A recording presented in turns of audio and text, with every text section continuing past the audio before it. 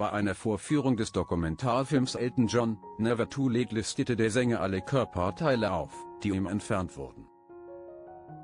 Mehr als 40 Jahre ist es her, dass der britische Sänger Elton John, 77, seinen trotzigen Superhit im Still Standing in die Welt hinausschickte. Doch auch im nunmehr gehobenen Alter steht der Künstler immer noch aufrecht und hat trotz vielerlei körperlicher Gebrechen seinen legendären Humor nicht verloren. Entertainer ist lebendes Ersatzteillager. In einer Rede bei einem Screening seines neuen Dokumentarfilms Elton John, Never Too Late auf dem New York Film Festival scherzte der Musiker über seine vielen gesundheitlichen Probleme.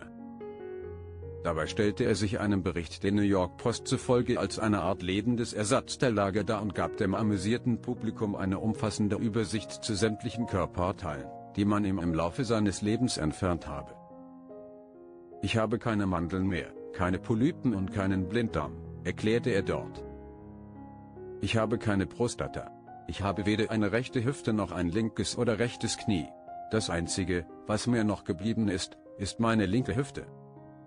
Wie das Blatt weiter berichtet, ließ sich Elton John bereits in den 1990ern aufgrund von Herzrhythmusstörungen einen Herzschrittmacher einsetzen. Zudem leide er an drastischem Hörverlust, der durch jahrelanges Touren verursacht worden sei. Im September gab der Sänger zudem bekannt, dass er sich soeben von einer schweren Augeninfektion erholt habe, die zwischenzeitlich seine Sehkraft eingeschränkt habe.